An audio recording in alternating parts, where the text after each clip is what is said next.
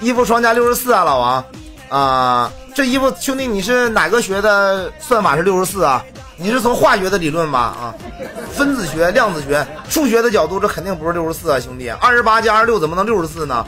即便是六十四，下边不还减三呢？不也是他妈六十一吗，大哥啊？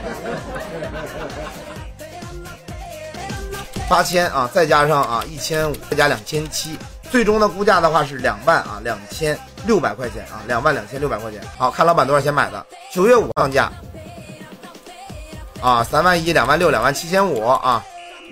啊，两万一，两万二啊，两万三啊，两万六千八，两万二啊，三万啊，两万七。好，老板的最终购买价格，咱们的估价多少？两万两千六啊。老板最终的购买价格是三万四，三万四千块钱。其实我觉得，正常来讲，对于普通玩家来讲是贵的，但是老板对于你来说不贵，因为你人在英国上学嘛，一年学费五十万，一个月的生活费是十二万，对不对？十二万的生活费。平均一天，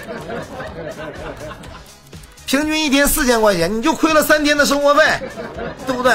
你你亏的一万块钱，相当于普通人普通，对不对？像我们在国内上学的，一个月生活费是一千，家庭条件好的话一千八，一千八一天六十，对不对？你亏的一万，对于我们来说才亏一百八十块钱啊！老板还买号吗？嗯，老板，咱们换一个角度思考，假设咱们不要一个祥瑞。不要一个青花瓷级，你花三万块钱，你们觉得能不能买到一个七百的无级别武器？七百的无级别武器，三万块钱能买到吧？真的，你花这个价格，其实已经接近无级别的价格了。而且无级别不是专用，六十九、八十九、一百零九级都能用啊。嗯，不过不要紧像你这种老实有钱的人，运气不会太差，仓库里肯定有惊喜，老板你就给我看着啊。惊喜惊喜惊喜啊！啊，有一把七十级的武器，专用的啊，武装图啊，武装图能挖出吸血和必杀的吧？千金难买，老板喜欢，所以说老板给你点评这号啊，首先呢，价格是绝对啊，绝对可以的一线价格。呃，锦衣呢虽然有青花瓷，你买了一个现在最贵的锦衣，但是失去了一个最有潜力的锦衣云龙梦。啊，然后九尾冰狐毕竟是二哥啊，他跟这个啊天使猪猪还没法比。武器呢，七百二十专用的，跟简易的，简易的话差不多是一万四千块钱能买到一个啊，跟这个好的，跟这个差不多好的。所以说武器呢，对不对？价值是肯定不会超过一万四的啊。当然不是专用的话，也不可能到达四百六十五这种伤害。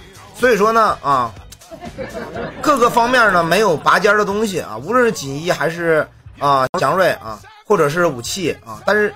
价格确实够一线啊！哎，又给我开了个守护，好，家里有庭院啊，看看家里再没有什么惊喜，没有什么惊喜的话就可以撤了啊。还没惊喜，拜拜了，老板啊，在英国这亏这一万也不算亏。其实啊，我跟你讲，老板咱们反着算啊，那武器的话，假设不是专用的，那对不就是一万四了，就差六千块钱呢，对不对？九尾冰狐刚才估一千，理论上呢啊，搭配钱已经加过了。行了，没得说了啊，我编不下去了啊。